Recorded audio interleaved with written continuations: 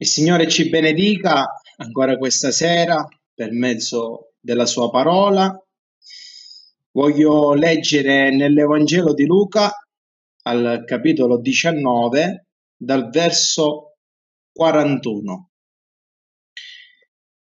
Quando fu vicino, vedendo la città, pianse su di essa, dicendo Oh, se tu sapessi almeno oggi ciò che occorre per la tua pace, ma ora è nascosto ai tuoi occhi, poiché verranno su di te dei giorni nei quali i tuoi nemici ti faranno attorno delle trincee, ti accerchieranno e ti stringeranno da ogni parte, abbatteranno te e i tuoi figli dentro di te e non lasceranno in te pietra su pietra, perché tu non hai conosciuto il tempo nel quale sei stata visitata.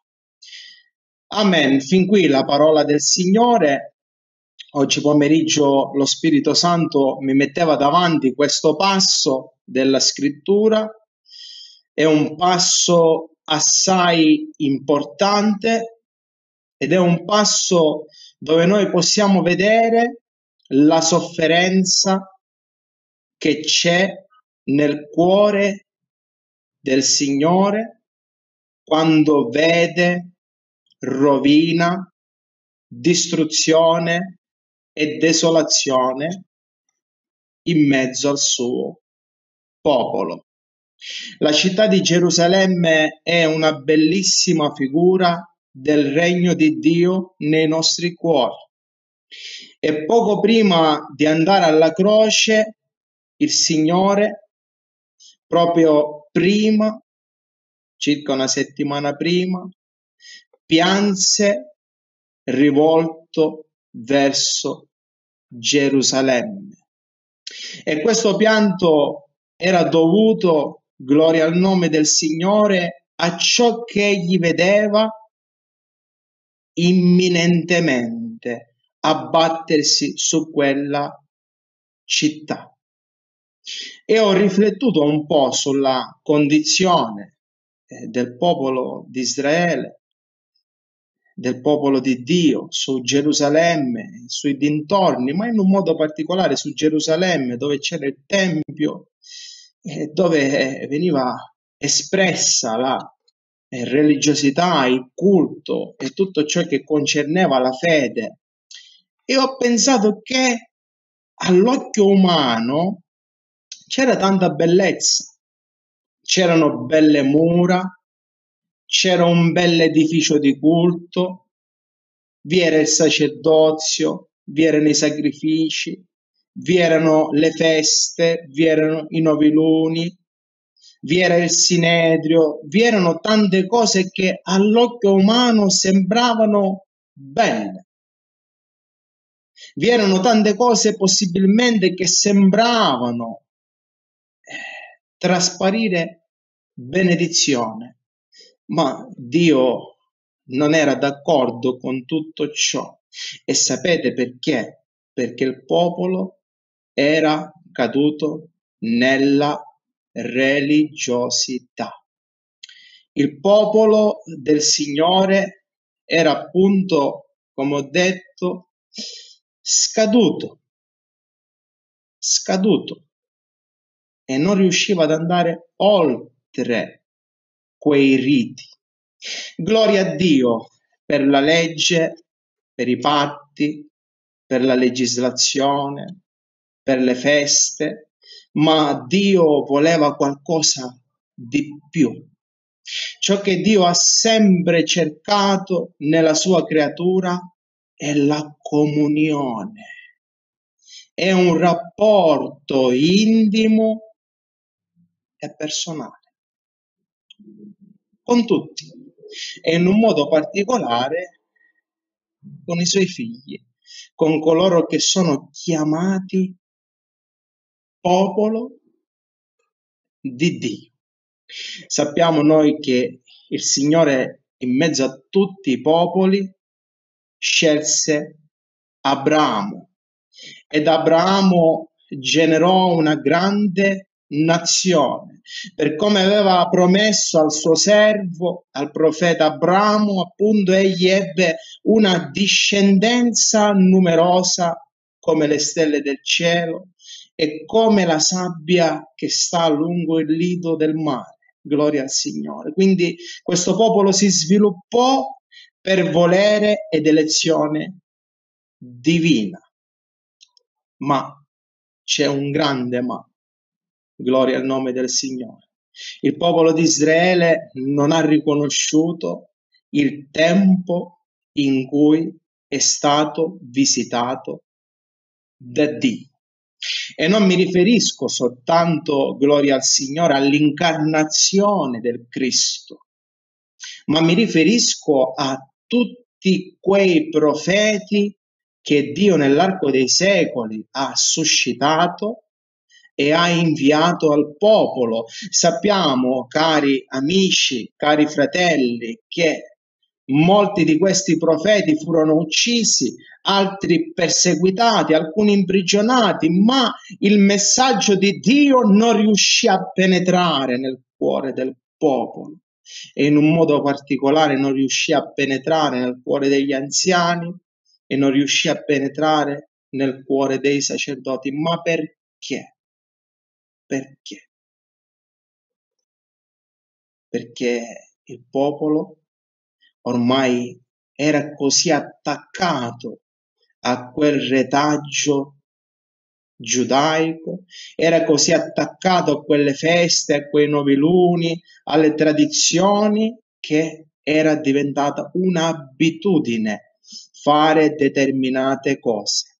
Ora noi sappiamo che quando Dio mette davanti a noi delle cose materiali c'è sempre un messaggio spirituale possiamo benissimo parlare dell'agnello pasquale, no? quando l'Eterno istituì la Pasqua e quell'agnello prefigurativamente di cosa ci parlava se non del sacrificio di Gesù, eh? di quel sangue prezioso, benedetto il nome suo. Quindi Dio attraverso la legge, che è ombra dei beni futuri, benedetto il nome suo, ha voluto dare degli insegnamenti spirituali al popolo, quindi il popolo non si doveva solo soffermare su ciò che occhio vedeva e che mano toccava, ma doveva andare oltre.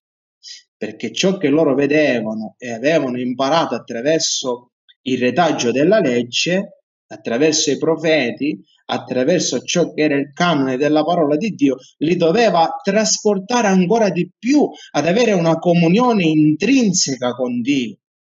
Dovevano essere stimolati ad andare oltre, dovevano essere incoraggiati a portare quanti non conoscevano l'unico vero Dio, creatore di tutto l'universo, cioè l'Eterno, Dio degli eserciti, a lui. Questo era il compito della nazione di Israele, portare all'obbedienza e alla fede di tutte le persone, gloria al nome del Signore, come un po' oggi la Chiesa, il compito della Chiesa è questo, è portare anime ai piedi del Signore. Portare anime, alleluia, al cospetto dell'unico vero Dio che è creatore di tutto l'universo l'unico che ha il potere e l'imperio su ogni cosa. Ma non è facile, eh, cari amici, cari fratelli. Infatti il popolo di Israele ha fallito la sua eh, missione ed è appunto, come dicevo prima, non soltanto caduto in una religiosità fredda e sterile, ma oltretutto è caduto nel sincretismo. Il sincretismo era, come tutt'oggi c'è purtroppo anche nel mondo cristiano, il convivere di diversi culti, cioè accogliere ogni insegnamento, accogliere ogni cosa, avere consensi, avere numeri, avere forza, avere eh, denaro, avere possibilità, avere questo, quell'altro, gloria al nome di Dio, ma quando si hanno tutte queste cose si va a perdere, fratelli e sorelle, quella luce, gloria al Signore, che Dio ci comunica e per mezzo dello Spirito Santo. E il popolo di Israele purtroppo, come abbiamo detto, fallì. Noi amiamo e benediciamo Israele, preghiamo per Israele e sappiamo che Israele è quell'ulivo domestico in cui siamo stati innestati noi, i gentili, i pagani, eh? che siamo chiamati l'ulivo selvatico, ma vi dirò che, gloria al nome del Signore, come è scritto in Efesi capitolo 2, Gesù dei due popoli, quindi c'è stata sempre una distinzione netta fra i giudei e i gentili, quindi dicendo due popoli, diciamo tutti i popoli, ma Gesù dei due popoli ne ha fatto uno. Quindi la Chiesa, e quando dico Chiesa non mi riferisco ad una denominazione o un ministero particolare, ma mi riferisco a tutti coloro che sono stati lavati nel sangue di Gesù hanno ricevuto lo Spirito Santo ed ubbidiscono alla parola di Dio senza se e senza ma. È una chiesa nascosta ma è una chiesa che manifesta la gloria di Dio, è una chiesa che manifesta l'amore di Dio, è una chiesa che manifesta i carismi, è una chiesa che manifesta, alleluia, la sapienza del Signore. E come è scritto, anche gli angeli imparano dalla chiesa cose misteriose, cose in cui bramano penetrare con i loro sguardi. Benedetto sia il nome eh, del Signore.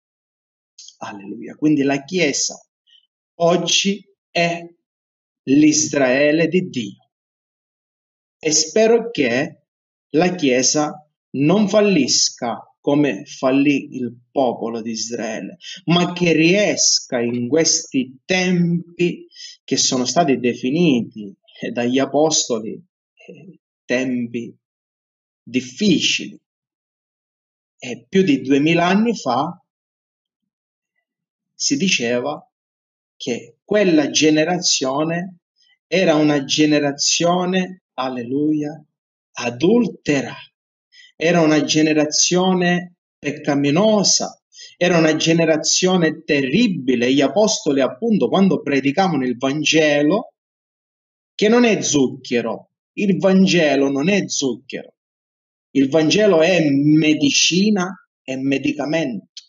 Alleluia. Quando si riceve il Vangelo, è vero, noi abbiamo una grande gioia nel cuore, ma poi iniziamo a bruciare perché la parola del Signore va a lenire va a curare, va a purificare tutte quelle piaghe e tutte quelle ferite che noi abbiamo subito e ricevuto a cagione del peccato.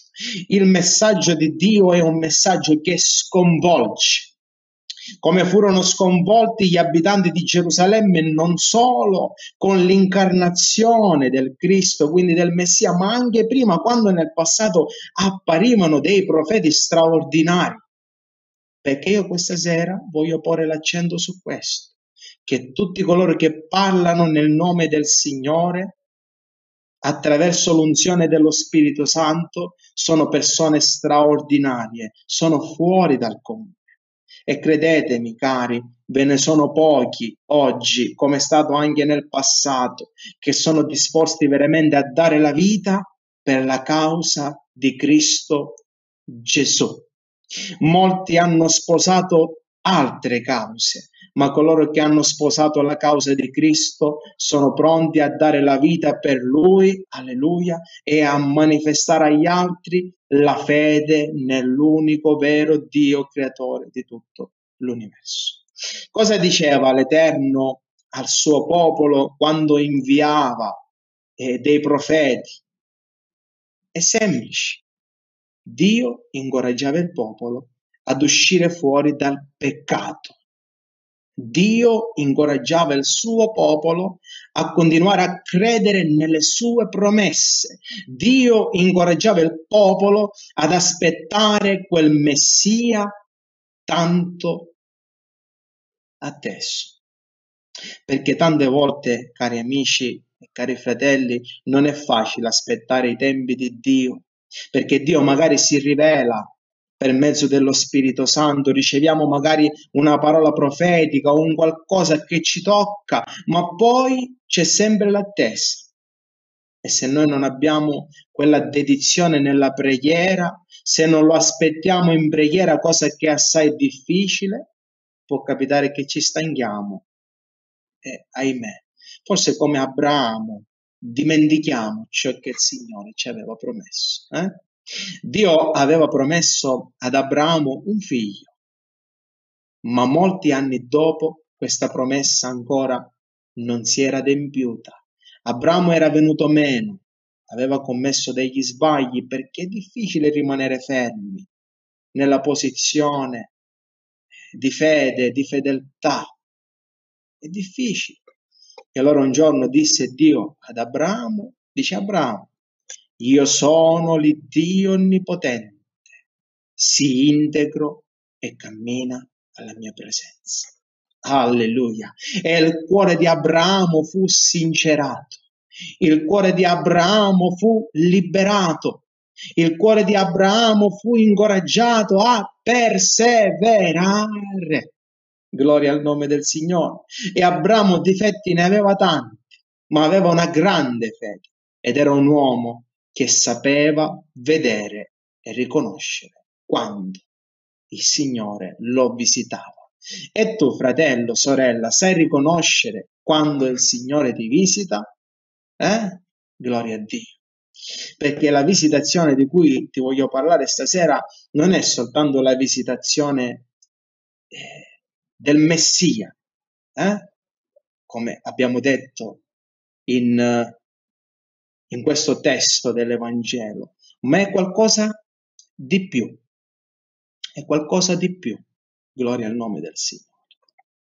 E io penso, per quello che vedo e per ciò che discerno per mezzo della parola, perché il nostro discernimento non deve essere frutto della nostra fantasia o del nostro bagaglio. Magari siamo convertiti da tanti anni e pensiamo di avere un bagaglio grosso, gloria a Dio per questo, però non possiamo noi discernere attraverso il nostro bagaglio, ma dobbiamo discernere attraverso la parola del Signore, la Bibbia.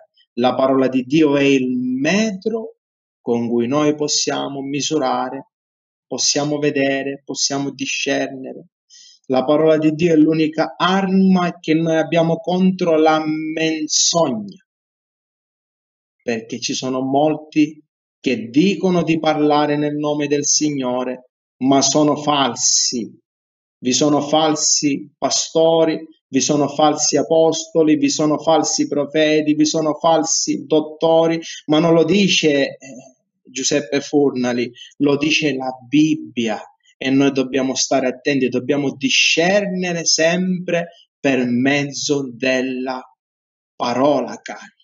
Ed è per mezzo della parola che noi possiamo riconoscere quando il Signore ci visita ed è qualcosa di meraviglioso. E io sono sicuro che Dio a molti li ha visitati, li ha visitati durante la notte. Eh? Spesso la notte capitano dei pensieri, si è turbati, non si riposa, a volte il cuore batte, eh? si pensa alla famiglia, si pensa alla salute, si pensano a delle problematiche che dobbiamo affrontare a breve o a lungo raggio. Ed è proprio in quelle notti, è proprio in quei momenti in cui noi non abbiamo neanche la forza di pregare che Dio ci visita in un modo particolare. E lo Spirito Santo inizia a comunicare qualcosa alla nostra parte più intima è la parte spirituale, perché noi abbiamo una tripartita natura, abbiamo un corpo, ma abbiamo altresì un'anima ed uno spirito. Gloria al nome del Signore. E non a caso siamo stati fatti a immagine e somiglianza di Dio. Padre, Figlio e Spirito Santo, solo Dio benedetto in eterno, e noi, creature preziose e privilegiate in tutto il creato, anima, corpo e spirito, anche noi abbiamo una tripartita natura. Gloria al nome eh, del Signore. Benedetto è Gesù.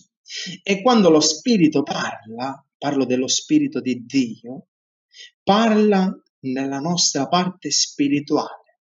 La nostra parte spirituale è quella parte che gode comunione con il Signore.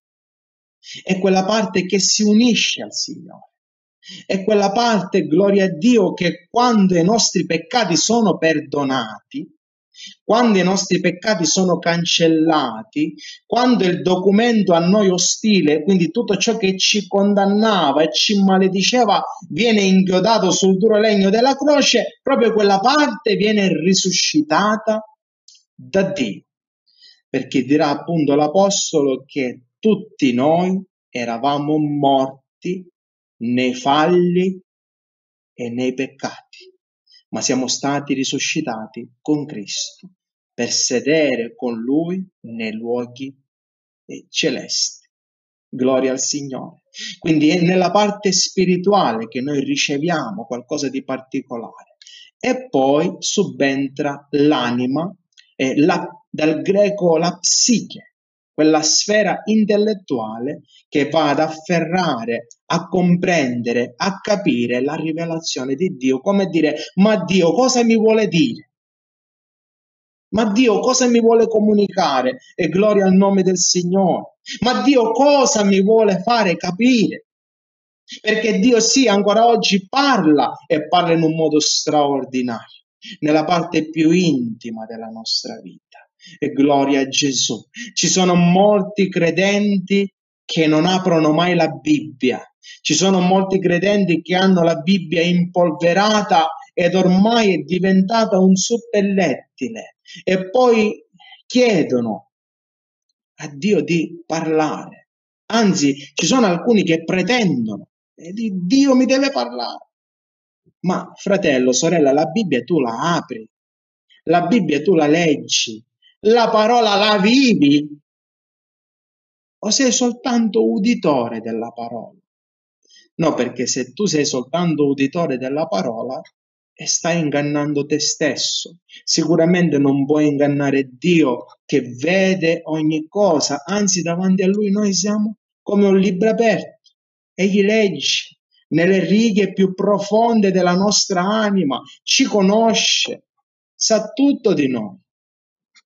O magari possiamo pensare di ingannare un pastore o una persona che è preposta alla nostra cura, ma sappiatelo che non possiamo mai ingannare il Dio. Abbiamo bisogno veramente, come il popolo di Israele, di ritornare alla parola, Abbiamo bisogno veramente di ritornare alla preghiera, perché io credo che in un modo particolare la Chiesa in questi tempi è chiamata a fare la differenza, è chiamata a manifestare la gloria di Dio. Alleluia. Noi non siamo chiamati, fratelli e sorelle, a fermarci. Noi non siamo chiamati, fratelli e sorelle, a vivere una gloria al Signore, una religiosità. Noi siamo chiamati, cari fratelli e care sorelle, a manifestare la pace di Dio e la parola di Dio. Noi non possiamo essere come Gerusalemme chiusi. Non possiamo. Noi non possiamo soltanto amare il nostro servizio. Eh? Ci sono alcuni che innalzano l'uomo, no? A volte si innalzano i conduttori, si innalzano le chiese o la musica o questo o quell'altro. No, fratelli e sorelle, noi dobbiamo innalzare soltanto Gesù e le persone devono vedere che noi manifestiamo la parola di Dio. E soltanto così, cari, nei nostri cuori il regno di Dio veramente è saldo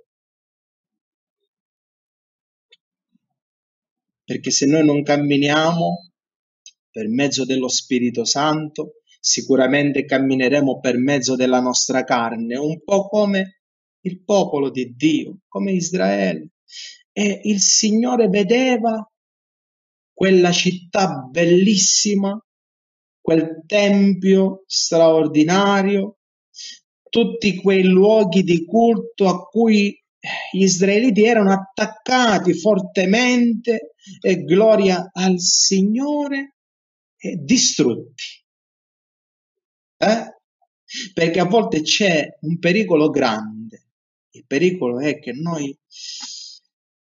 amando troppo qualcosa, può succedere che quel qualcosa diventa un idolo e prende il posto di Dio. Gloria al nome del Signore. Non sia così, fratelli e sorelle. No, non sia così.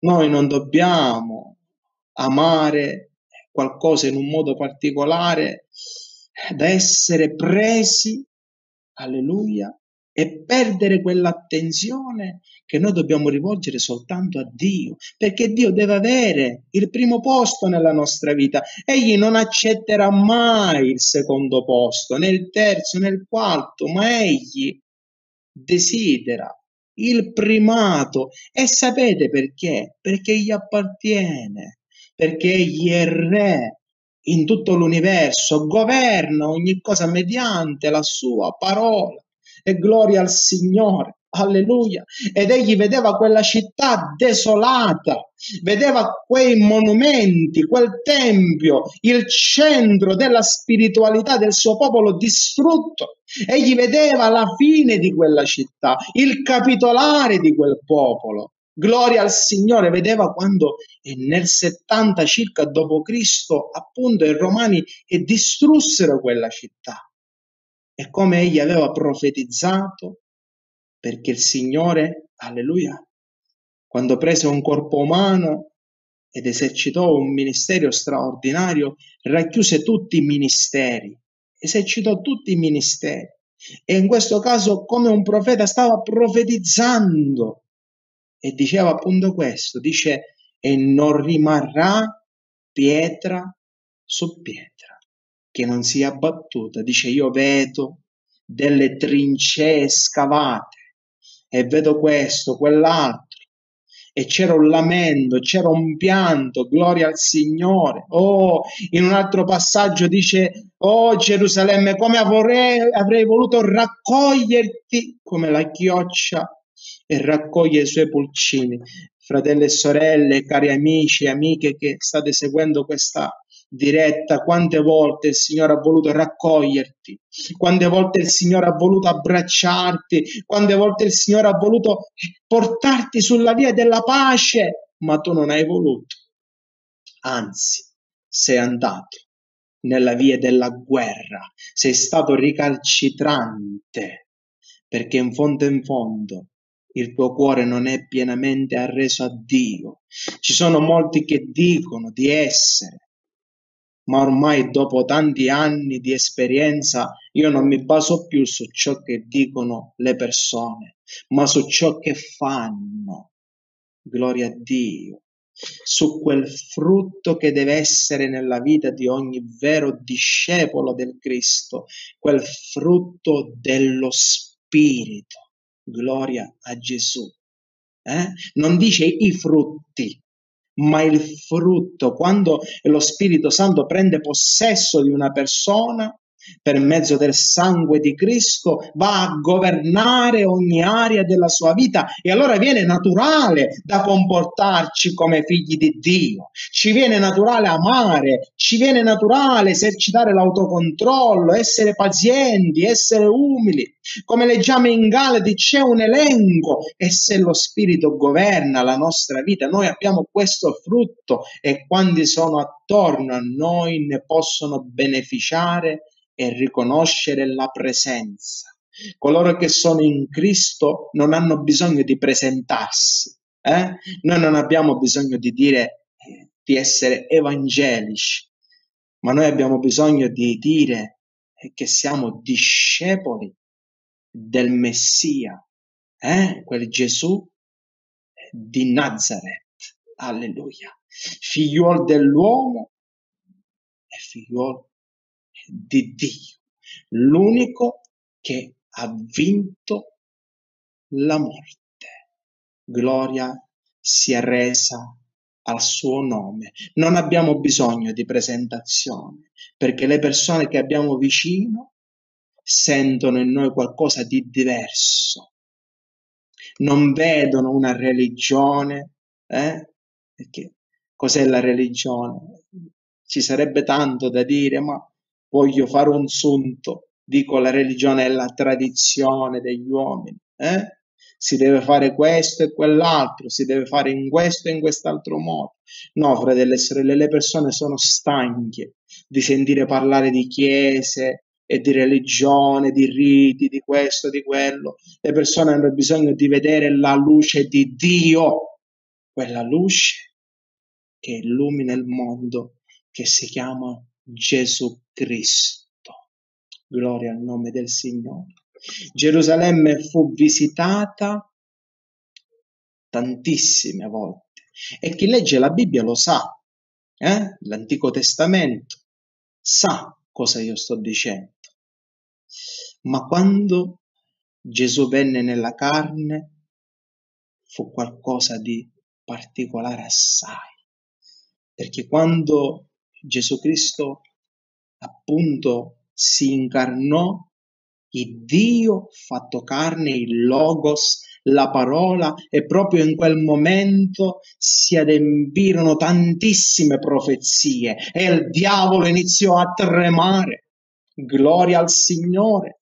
Tant'è vero che voi sapete che già da subito eh, Giuseppe e Maria dovettero andare in Egitto perché, sapete la storia, cercavano la vita eh, di Gesù quando era ancora in fasce, piccolo piccolo.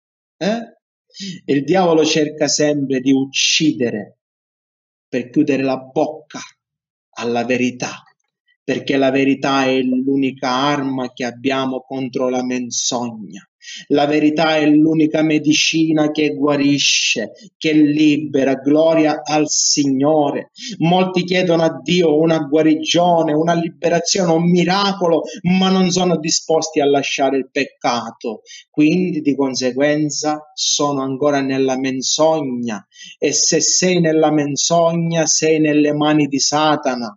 Piegati, piegati, rigetta tutto ciò che non è da parte del Signore, perché Egli ti parla, gloria al Signore, in una maniera intima, personale, ti visita. E io credo che questa sera Dio, per mezzo di questa parola, di questa trasmissione, gloria al Signore, sta visitando tanti cuori come visitò Gerusalemme, sta visitando tanti cuori questa sera, in un modo particolare sta visitando tante case, sta visitando tante famiglie. Io ti dico, caro, alleluia, che tu se ubbidisci a Dio avrai un futuro roseo, splendido, come è scritto nei profeti.